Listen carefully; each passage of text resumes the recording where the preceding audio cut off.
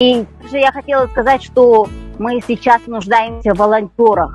Мы ищем волонтеров, которые смогут монтировать видео, писать тексты на казахском и русском языке, делать плакаты. Вот такие люди нам нужны. Если вы имеете такой талант монтировать видео, то мы ждем вас. Обращайтесь, пожалуйста, активизируйтесь. Ваша активность изменит нашу политическую ситуацию в лучшую сторону. Поэтому я верю в вас. Алка, Казахстан.